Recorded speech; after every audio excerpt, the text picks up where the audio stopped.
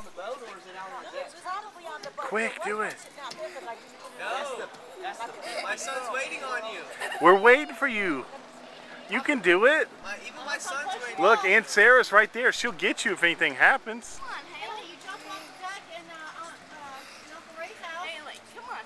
Her sister. That's what it is. Don't push. No pushing on that boat. You'll hit the motor.